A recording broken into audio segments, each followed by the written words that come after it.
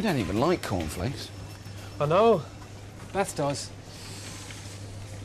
Said she might come over later. What for? You know, The Fellini double bill. not exactly. Oh, don't tell me she doesn't like Fellini. No, no, I don't know. I'll ask. So what does she want to come over for?